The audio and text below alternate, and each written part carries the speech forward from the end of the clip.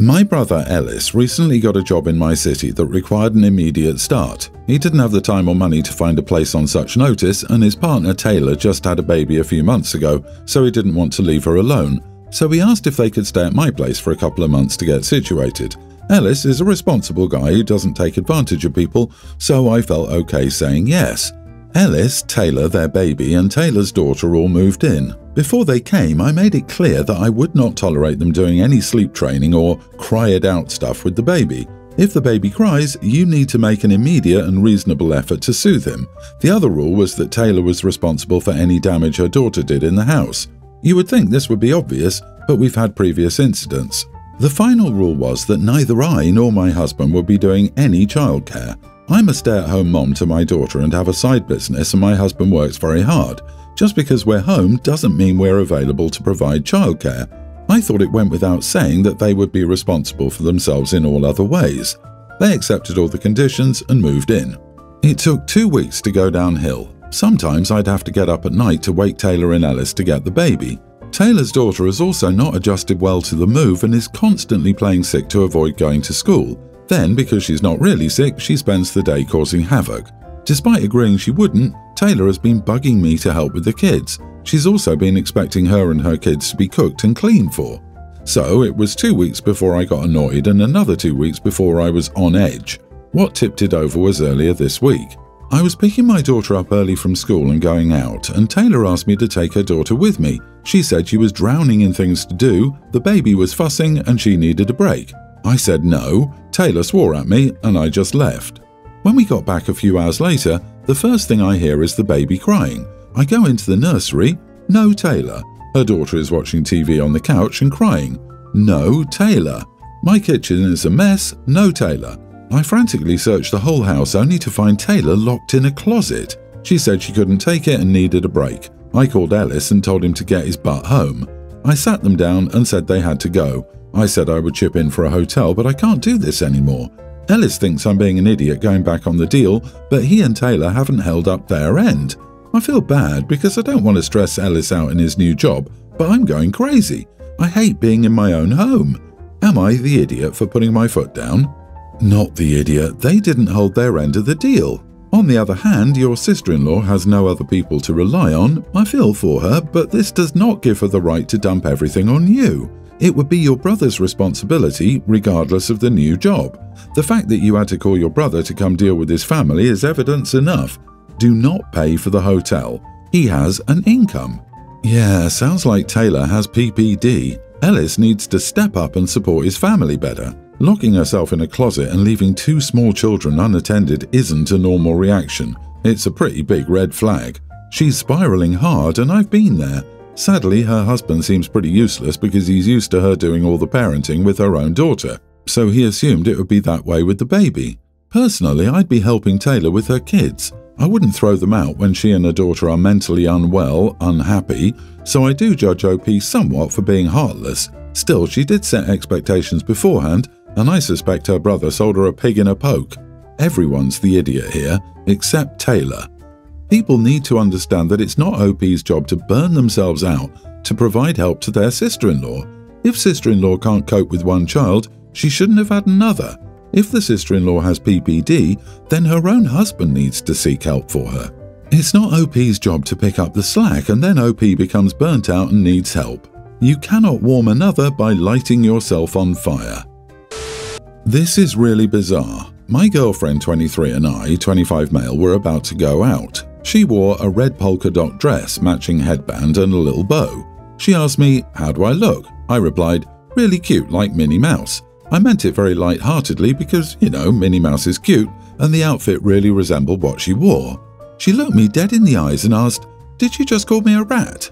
I was baffled. At first, I thought she was kidding. I said, No, I just pointed out that you look like Minnie Mouse, you know, the Disney character. She said, So I look like a rat to you? I still thought she was kidding. I said, Actually, Minnie is a mouse. They're a different species. She lost it. She started yelling at me, calling me names, saying that if anyone was a rat, it was me and that I belonged to the sewers, not her.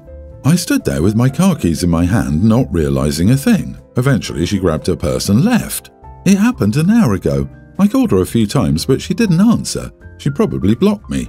I'm still trying to figure out what happened. She has no long standing grudges against Disney. She doesn't seem to hate rats as a species either. Minnie Mouse isn't even a rat. I know it sounds like a fake story, but I swear it's not. I'm genuinely baffled and am now wondering if I messed up.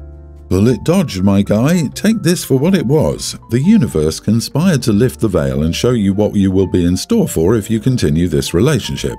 If ever there was a moment to read the room and understand that the rattling you hear in the corner is a rattlesnake in your midst, this is it. Block her and move on. You are not the idiot. Amen. Unless OP loves drama, walking on eggshells, and thin ice every single day of his life, run. The girl put on an outfit, red polka dot dress and matching bow that Minnie Mouse has been wearing in some variety for about 50 plus years. Then she got mad when you commented on exactly what she did. Dude, that damn Disney magic saved you from someone who was going to be a headache you didn't deserve. OP should just change her contact in his phone to Minnie Mouse. Either something else is going on and she took it out on you, she genuinely believes you insulted her, in which case she's probably having head issues, or she was looking for a reason to pick a fight or break up. Either way, I'd let it go and move on. If she contacts you, if she doesn't explain or apologize, I'd move on, especially if she's still blaming you. Sometimes someone is just too unstable to be in a healthy relationship. My 26 male girlfriend, 24, dropped out of college in the middle of her second year and is still trying to figure out her life phase. I admit I don't really know how to treat that since my parents have always been very strict about taking as many AP classes as we can until the age of 16, 10th grade, so that we'll be able to do what we want and to come to them the summer before 11th grade with a plan that details every class we will take to get us to the degree that we want and a general plan of what we want to do before getting the degree, while getting the degree, and after getting the degree. My girlfriend never really understood my parents doing that since her parents have never really cared as long as she was happy and surviving. And while it took me some time to understand as well, seeing as me and my siblings are all very successful, I'm thankful for that. The problem started a few days ago, five months into our relationship, when she officially met my family. She'd seen my sister a couple of times when she came to crash at my place because she needed quiet to study. She's in her last year of medical school, but they didn't really talk much.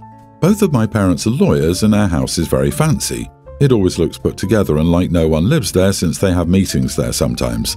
Next to my girlfriend's house, which always looks homey and very lived in, she was rightfully a little freaked out. By the end of the night, I could see that my girlfriend finally understood just how different our upbringings were. I drove her home after, and before she got out of my car, she asked me not to make her go to my parents' house anymore. I asked her why, because while I had a clue, I didn't want to make assumptions. She said that it freaks her out and wouldn't elaborate. I pushed a little and she snapped that it made her look bad and feel like she wasn't good enough for me. I was shocked. I told her that just because my parents have more money than her doesn't matter and that she makes enough money to live comfortably and be happy, and that's all I want from a partner. She told me it's not just that, it's my whole family. My brother is a surgeon, my sister wants to be an anesthesiologist, and I work in the biggest bank in the country. We all make, or are going to make in my sister's case, her yearly salary in a month, it's an exaggeration, and that she doesn't know if she can live feeling like that. I was mad at that point and told her it wasn't my fault that she decided to drop out of college and now can't get her life together. It's not true, she has a fantastic life and I know that, but I was so mad that I didn't notice what I was saying. She didn't say anything and just walked out. I feel really bad, but I also feel like I was justified. She was talking bad about the way my parents raised me, and I will always protect my parents against everything. I need to know Am I the idiot? You are the idiot. 24 is still very young, and it's okay that she doesn't have everything figured out yet. I just take issue with how you speak about your family and upbringing and how you compare it to hers. You do talk like you think she's less than you and your family. If you don't care enough about this young woman to see things from her point of view, and not as though your family is better than hers, seriously, you talk about them like they could do no wrong and like their life is gilded, then maybe you shouldn't be together. It feels like you think she's less than you and your family as opposed to being an equal in your eyes, if not in fortune. I mean, she was trying to use how she felt about herself as a reason to not go to his parents' house again. So what? He can only ever go to dinner with them if she's not there? It was an unreasonable ask, and I don't blame him for getting a little defensive about his family and upbringing. I think everyone's the idiot here. Thank you.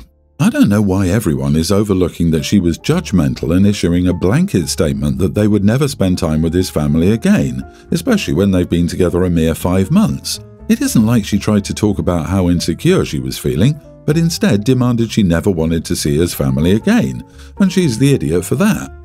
LOL, right, a tale as old as time. Wealthy, successful young adult assumes all their wealth and success comes from personal virtue, not the safety net and support of their rich, successful parents. He doesn't even have to help her. Maybe he just acknowledges that he grew up with the privilege of caring for parents who had the financial backing to help their kids get to where they are now. Plenty of intelligent, hardworking kids don't make it to be surgeons, top bankers, or lawyers because they don't have the safety net for a single slip up. OP, you are the idiot. My wife is a housewife and is in charge of all the chores since I usually leave around 7 in the morning and return at around 7 in the afternoon as I work long hours. That's simply the nature of having your own firm, and the commute is an hour both ways. So recently, my wife wanted to use her English degree to use and try and publish a book, which I thought she was doing as something to pass the time. So over the past few weeks, chores like the dishes and dusting haven't been getting done and started piling up. So I decided to talk to her about it. She told me that I have to start doing some of the chores too as she's working now. I told her that that was not a job but a hobby until she started making money. I tried to tell her that we agreed she would take care of the house while I made the money. She got mad at me about this and claimed I was belittling her. I tried to defend myself by explaining I'm not mocking her, but that's just a fact that her writing doesn't make any money, meaning it's not a real job and just something she does for her own enjoyment for the time being. After some back and forth, she got even more mad at me and decided to sleep in the guest room for the time being. She is generally a bit annoyed with me, but has started to take care of the chores. So, am I the idiot for telling my wife she doesn't have a job, she has a hobby? Edit, for full transparency, we do have a young grammar school aged daughter together, but she goes to school at around 7.35 in the morning and comes back almost 5pm in the evening after her extracurriculars, so my wife only watches her for about two hours without me each day, which is why I refer to her as a stay at home wife and not mom. Not the idiot. If OP was a house husband telling his wife that he wanted to be a streamer by playing video games and expected his wife to pick up the chores, you would be jumping at his throat. There are no little kids involved. Daughters at school, meaning that out of 24 hours of the day, she has to spend at most three quarters of an hour cleaning and the rest sitting on her butt. Plenty of time to write. If she wants to split chores, she needs to find a job so that you can cut your working hours. Here's a real idiot move. Tell her you will take on half of all household chores and that she's now responsible for half of all household expenses and her own discretionary spending. Wish her well in her new job and cut her off from all your income. That would be an idiot move. Your wife has such a cushy life. Asking her to contribute by doing chores is not an overreach. I have three people at home right now. My daughter is going to college and my son and his wife are staying to save money. The issue is with my son and his wife. They eat so much, and frankly, it's a concerning amount. What I usually did before they moved in was to make a meal, everyone ate, and then packed up leftovers in the fridge. The food is gone by the time I even try to get seconds. Sometimes I make food, my daughter ain't home, and it's all gone. I sometimes make big meals that can feed four to six people with leftovers. For example, I made a pound of spaghetti with meat sauce. I didn't even get any. I didn't grab any, and I was going to eat after I finished some chores. My daughter wasn't home, and those two ate a whole pound of spaghetti. I had a two layer cake, almost all of which was there, and went to work. The cake was almost gone when I got home. That was less than eight hours. My daughter is very frustrated since there's never any cooked food. I've made double batches which give leftovers, but they don't last. The next day, the leftovers are gone. It's hurting my wallet, and I'm over it. I don't want to charge for groceries since that won't solve the issues with leftovers, or if they eat everything before anyone has the chance to eat. So I sat everyone down and told them I would plate everyone's food. The leftovers would be split evenly and labelled clearly. If anyone was still hungry, they could buy more food to eat.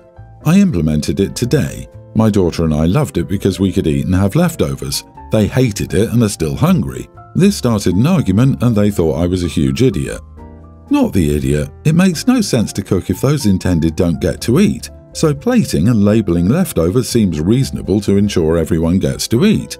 I think it's weird that your son and his wife would think it's okay to eat all or most of the food when you and your daughter hadn't had a chance to eat anything. That was so inconsiderate of them. Two layer cake. That means they ate about 3,000 calories each as a snack. I'd be wondering out loud, very loudly, that they should go to the doctor. Maybe they both have a tapeworm. That's absolute gluttony they're displaying. You're not a restaurant or a buffet. It's time for son and wife to spread their wings and leave the nest. They should learn about self reliance and how much their lack of self control costs. Keep doing what you're doing. Either die on this hill or diet on this hill. Your choice. They hated it and are still hungry. But, but, what about all of the money they're saving? They should be able to supplement their appetites themselves. Time to either cut these moochers loose or cut them off of cooked meals.